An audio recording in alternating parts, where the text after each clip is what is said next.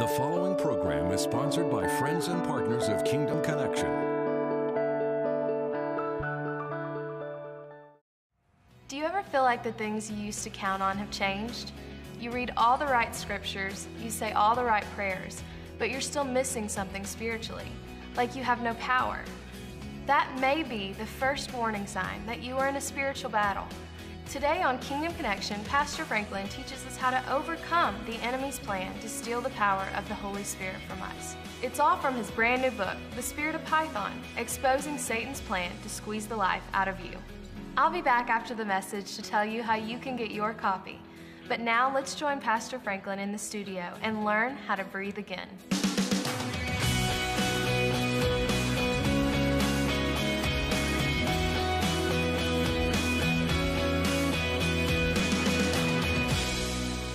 Thank you for joining us today on Kingdom Connection. I'm very excited that you've tuned into this program. I have a subject that is, uh, that is a big thing on my heart that I want to share today because I think a lot of times people are not realizing that we are in a spiritual battle. Have you ever felt like you were just under attack? Have you ever felt like all hell was breaking loose? You know, the word circumstance comes from two different words. And the first circum, which means to be circled, and then stance, of course, to take a stand. Sometimes it feels like you're standing and all you see circling around you is trouble and problems.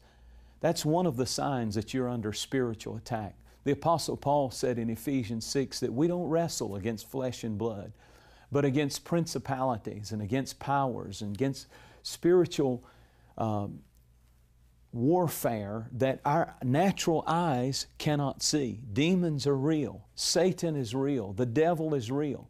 You know, when Jesus in Luke chapter 4 walked into the synagogue to preach his first message, the Bible said there was a man who was possessed with an unclean spirit, and the spirit began to cry out in the man, Leave us alone. I think that's a tremendously powerful truth about Satan and his his onslaught in our life. He'd rather the church just leave him alone. I, I, I think a, a lot of times, even spiritual leaders in this present age are guilty of just saying, Well, you know, I don't want to get into spiritual warfare. I don't want to be a demon chaser. I don't want to magnify Satan. I just want to talk about, you know, uh, the things that we can see and deal with when really if we're not careful, we begin to leave him alone. You know, the Pharisees' teaching, that, that, that man had been in that synagogue every time they had a lesson going on, and he wasn't stirred up. He wasn't stirred up. But when Jesus came and started teaching the Word under the anointing of the Holy Spirit, the demon in the man began to cry out, Leave us alone. If we're not careful, we just begin to leave the enemy alone and he begins to take more and take more of our joy, more of our liberty. He begins to attack our family and our children, and we begin to try to solve spiritual problems with just a natural mindset. And we don't realize we're fighting against the powers of Satan. He's wanting to destroy our families, our marriages, our children, our, our lives, our health, our businesses, our dreams. He wants to choke them out and, and destroy our lives. And so God has laid upon my heart this message, the Spirit of Python. I began preaching it many years ago, and it became an illustrated sermon that, that thousands and thousands of teenagers heard. But it was never in its original form meant to be an illustrated sermon. It was a message that God gave me from the book of Acts, chapter 16, about a particular evil spirit that is named. It's the only time in the book of Acts that when uh, they dealt with demon possession, that uh, the name of the demon was given. The Bible said there was a woman with a spirit of python. Divination in King James is translated python, that followed Paul and Silas around. And they cast the evil spirit out of her. And, uh, and that whole story is centered around the spirit of Python. What is the spirit of Python? You know, the first time we see Satan, we are introduced to him in the form of a serpent in the book of Genesis. In the book of Revelation, the last book of the Bible, it calls Satan that old serpent, the devil. So when we see the serpent it is a type, it is, uh, it is a picture of the way Satan wants to operate in our lives. And particularly the spirit of Python is, is a serpent that doesn't kill by its venom, it doesn't kill by its bite, it destroys its victims by wrapping itself around the victim and squeezing slowly, tightly, more and more and more. It begins to squeeze the breath out of its victim. You see, breath in the Bible represents the Spirit of God. Listen very carefully. Breath in the Bible represents the Holy Spirit active and alive in our walk and in our life and in our families. The Bible said in John 20, Jesus breathed on them and said, Receive the Holy Spirit. In the book of Acts, chapter 2, when the Holy Spirit filled the upper room, He came as a mighty rushing wind. Wind, air, breath represents the Holy Spirit in the Bible. And so the job of Python, the evil spirit, is to choke the anointing, choke the Spirit, choke the presence of God out of our lives and out of our churches. You know, when a python begins to kill its victim, uh, he doesn't necessarily break its bones, but he's after the breath so the structure can stay the same as long as there's no breath. And sometimes our church and our ministry and our own lives can, can have the outward appearance and the structure of being all right, but if there's no breath, if there's no anointing, if there's no presence of the Holy Spirit, when Python begins to wrap himself around a music program in a church, he'll choke the anointing out. And so it's all sound. We're into you know, we're into talent, but God's into character. And, and, and it's just music, it's just sounding brass and tinkling cymbal because He doesn't care how professional and good we sound if there's no anointing on it. It's the anointing that breaks the yoke, it's the anointing of the Holy Spirit that sets captives free. It's the anointing. And when Jesus showed up in Luke chapter 4 and began to preach under the anointing, the demon inside of one of the men sitting in the temple began to cry out, Leave us alone. But God is raising up ministries that will expose the enemy and we refuse to leave him alone. He doesn't want me to tell you that if you'll begin to plead the blood of Jesus and pray in the name of Jesus and call the name of Jesus powerful in your situation, that it can break Satan's stronghold. The Bible said in Acts 16, as they went to pray in the temple, the woman with the spirit of Python began to confront them. So, first thing we see about the spirit of Python is he is a spirit that hates prayer. You know, the enemy wants to choke your prayer life to death. He wants you to basically worry about everything and pray about nothing. He wants you to constantly try to solve your problems with your natural mind when the Scripture said, Cast all of your cares upon the Lord. Bring Him all of your stress. Bring Him all of your worry. Bring Him all of your fear. But Python wants to choke the spirit of prayer out of your life. You see, the greatest tragedy of prayerlessness is the unemployment of angels. When you don't pray, the spiritual battle that's going on in the unseen world begins to turn in your enemy's favor. That's why the Bible said Jesus prayed in the Garden of Gethsemane and, and an angel was sent. Paul prayed in the middle of a storm and an angel showed up on the ship. Peter prayed in a prison house, in a jail cell, and an angel came and opened the doors and broke the chains. My point to you is simply this when you don't pray, angels become unemployed. The greatest tragedy of prayerlessness is the unemployment of angels. Because when you pray, God gives angels their their orders. When you pray, the spiritual battle in the heavenlies begins to be armed with the prayers of the saints and people binding, and whatever you bind on earth is bound in heaven, and whatever you loose on earth is loosed. I, I want to awaken you today to the fact that it is not by might or power, it is by my Spirit, saith the Lord. And the enemy wants to choke out of your agenda. It's not just natural things you know, keeping you from prayer. I'm busy. I got to do this. I got to do that.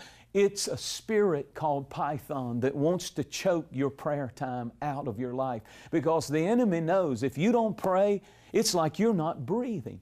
I, I tell people all the time when you read the Bible, you're breathing in the life of God.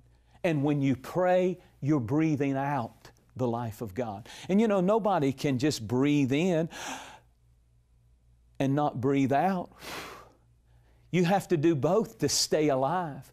Well, reading the Bible is taking in or breathing in the life of God, and prayer is breathing out. Father, in the name of Jesus, I come to you and I pray and I cast my cares on you.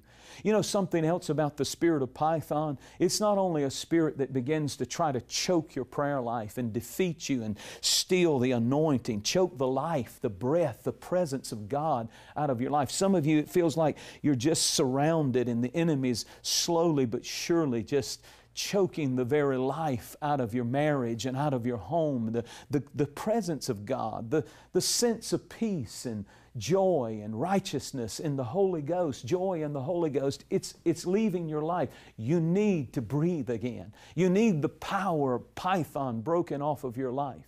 So, one of the things the enemy does when Python begins to get a grip on your life is he begins to, to just choke prayer out of your life. But secondly, he will, uh, he will try to constrict. You know, a python just his grip gets tighter and tighter. And so uh, when Paul and Silas were going, uh, where uh, in this story they were they were headed out on their first missionary journey. This is interesting to me. They had never gone to a foreign country, and that's when boom, all of a sudden the spirit of Python shows up. So when you're trying to break out, when you're trying to go further, when you're trying to go into new territory, starting a new business, launching a dream, starting a new ministry, going into new territory, raising up some new uh, aspect of what God's called you to do. That's when Python comes and tries to limit you, tries to constrict you, and hold you back from moving forward, from going further, from enlarging your territory. Every time we have tried to expand this ministry, Every time we've had to break the power of Python that wants to hold you where you are. This is as far as you're going, and you're not going any further. Somebody's listening to me today, and it's like there's an invisible force around your life, your ministry, your calling, your business, and you go so far and you can't go any further. Well, today we're putting our finger on something, spiritually speaking, and I believe it is the spirit of Python that we can break that the power of God can cause the life of God, the breath of God to fill that dream again, to fill that vision again with life, to break you free and enlarge your territory and cause you to go into areas that you've never been before and see successes you've never experienced before and reach people with greater influence than you've ever had before. It's time for the power of Python to be broken and whatever's been holding you back, whatever's been squeezing, putting the squeeze on you, putting the squeeze on your finances, putting the squeeze on your joy, putting the squeeze on, on, on just your vision. You know, you just begin to think small. You just begin to quit believing that anything good, that the favor of God, it, if it, it may fall on everybody, but it won't come on me. I'm going to tell you that that python can get wrapped around your thinking and squeeze and choke the dream out that God has for you, and we begin to settle for so much less than what God has. And that's why today I wanted to come to you in this special setting. And I wanted to pray and I wanted to believe with you that Python's power can be broken because here's what happened. In the book of Acts, when they began to, to expand in a new area, Python showed up. When they went to pray, Python showed up. Not only that, but the Bible said that, that, uh, that even in your finances, the enemy wants to choke the life out of your finances. And that's what happened. They cast the evil spirit out of a woman who told fortunes, divination. And the Bible said when the owners of that woman saw that the hope of their money making scheme was gone, they attacked and incarcerated Paul and Silas and beat them. I want to I want to say to you today that sometimes when you when you begin to deal with the real battle, the enemy will flare up. The spirit of Python will do everything he can to bind you up and imprison you in your mind and in your heart. And as they were put into that prison, the Bible said at midnight, Paul and Silas began to sing praises unto God. I want to tell you what will break Python's hold greater than anything. When you put on the garment of praise, when you begin to get a praise phrase in your mouth, and you begin to say, God, I thank you that you're for me. God, I thank you that you love me. God, I thank you that you love my family. And yes, the enemy's been attacking. And yes, the en- I, you know, some of you are just now while I'm teaching recognizing you've been under spiritual attack. You are fighting against principalities and powers and spiritual wickedness. And today, God's word to you is I have already defeated Satan. Jesus has already won the victory. The blood of Jesus is what we overcome by. And today I'm praying for your victory, for your deliverance, for your freedom. And I want you right where you are just to, just to get a praise phrase and say, God, I thank you today that there's power in my prayer. There's power in my praise. There's power in your word. And I don't have to be bound. I, I think about you know, how that uh, someone with a heart attack knows that they are having a heart attack because we've been educated as a society about warning signs. And you know, sometimes you need to recognize the warning signs that you're under attack. One of the warning signs that you're under spiritual attack is a loss of spiritual desire. You just don't care about spiritual things. You used to be on fire. You used to be passionate. You used to be praising God and into the Word. But when you're under spiritual attack, and remember, it's a slow thing. The, the, the grip of Python is just little by little. It's no huge way that he takes our spiritual breath away. It's just that he, little by little, begins to steal the anointing, the breath, the presence, the life of God. And one way that He does that is you just lose spiritual desire. That's a real sign, a warning sign that you're under spiritual attack. Don't want to go to church. Don't want to read the Word. Aren't interested in spiritual things. Don't want to feed your mind on the Word of God. You're not into the Word like you used to be. You're under spiritual attack. I, I think about how that uh, one of the signs is that you begin to go back to old habits and lifestyles. They begin to resurface, as I mentioned a moment ago. And I thought about another one pulling away from godly relationships is a real sign that you're under spiritual attack. In other words, when all of your friends are people out in the world who, who don't know the Lord and don't, nothing wrong with having friends, uh, uh, you know, and relationships with people that are not believers. But when you begin to pull away from godly relationships and replace those relationships with people who are ungodly, who are not living a life that's pleasing to the Lord, then that is a real sign you're under spiritual attack. When you have more in common with people who are unsaved than you do people who are saved, it's a real sign that something is slipping, something is happening in your life. And the question that we have to realize is and, and ask is Is Satan real? Are demons real? I, am talking about the spirit of Python because in the Bible, the Bible said in, in the book of uh, Luke, Jesus cast out many devils in one place. He cast out many devils. Well, why did he cast out many devils? Because they were there. It's almost like we think the devils have retired. They've gone to Florida or somewhere and they, they're no longer uh, around. They're still in existence. Demons never die. Demons never die. The same spirits that fought are still here today. As a matter of fact, I think we're dealing with more demonic activity than ever before. And that's why we need more of the presence of God, more of the breath of God, more of the Holy Spirit anointing on our lives. And my prayer for you today is that if the enemy's been choking the life out of you, if you've been going through a battle and you're seeing the warning signs of spiritual attack, if it feels like the enemy is constricting and hindering and holding you back and you can't seem to break loose and get free, maybe you're addicted, maybe you're bound by alcohol or drugs, or maybe the python has wrapped around your mind and all you feel are feelings of discouragement and hopelessness and depression and maybe even suicide. I'll today speak life to you. I today speak the breath of God upon your life. Your dreams are going to breathe again. Your calling in ministry is going to breathe again. The presence of God, your praise is going to break loose. The coils of Satan are going to break. The power of Python is going to loose you. And in the name of Jesus, I command you to breathe again. If you don't know Jesus Christ as your Savior, you cannot defeat Satan with your own intellect.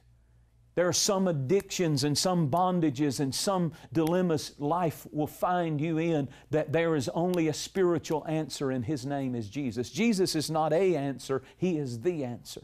And right where you are, call on Him. Say, Jesus, cleanse me, forgive me, save me, and empower me with the breath, the power of the Holy Spirit. He wants to breathe back into you the anointing. He wants to breathe back into your ministry the power. Paul said, I do not come to you with enticing words of man's wisdom. A lot of ministries today, and God bless them, they have man's wisdom, but that's not enough. We need the power of the Holy Spirit, and we need to pray for the endowment of power from on high. And right there where you are, He wants to fill you with the Holy Spirit. He wants to fill your family with His presence again. And Lord, whatever's been choking the life, squeezing the life out of those who are watching me right now, I pray for healing to flow, deliverance to flow, joy to flow, depression to break, hopelessness to flee, and in the name of Jesus, you be set free. Python, your power is broken, and now my word to you is breathe again in Jesus' name. Just like a physical checkup, we all need to look inside sometimes and make sure that we're living the life that God intended for us. This month, pre order the Spirit of Python gift set and be the first to receive the newly released Spirit of Python book. We will also include our 30 day devotional, as well as two inspiring messages on CD from Jentezen Franklin. If you've been doing everything right, but you still feel like something's missing, it's time to reclaim your breath God intends for you to have that in your life, in your home, and in your business. Call now or go online and request the Spirit of Python gift set. Once you know the truth, you can breathe again. I do my best to find some kind of glow. I'm giving it some heart and soul now from the darkest grace sunburst, clouds break, yeah, we see that fire from the streets of Babylon to the road that we've been on now. The kaleidoscope claims another.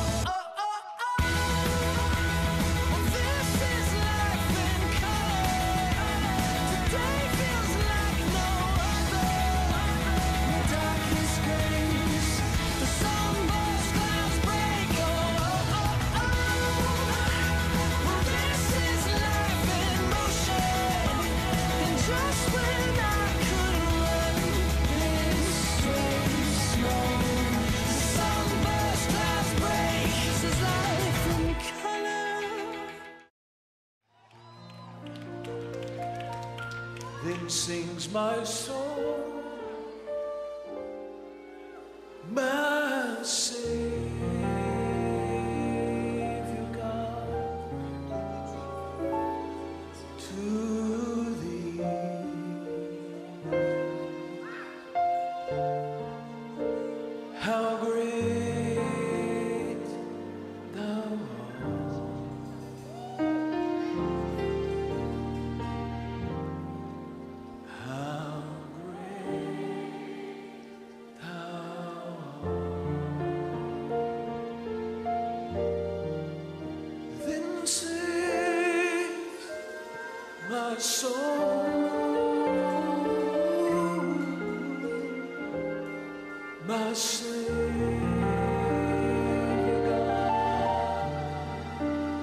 sing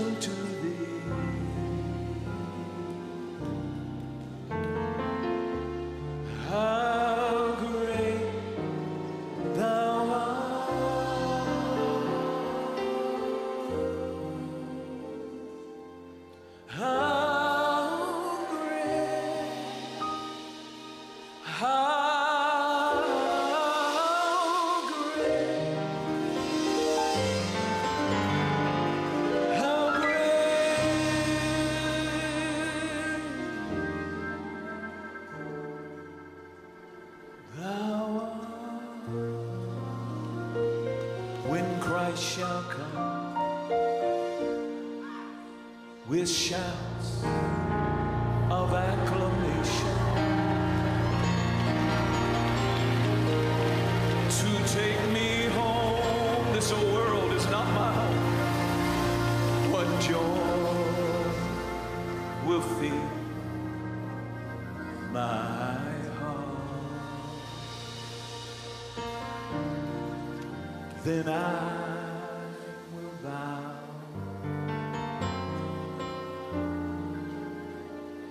in humble adoration. Excuse me. And then proclaim,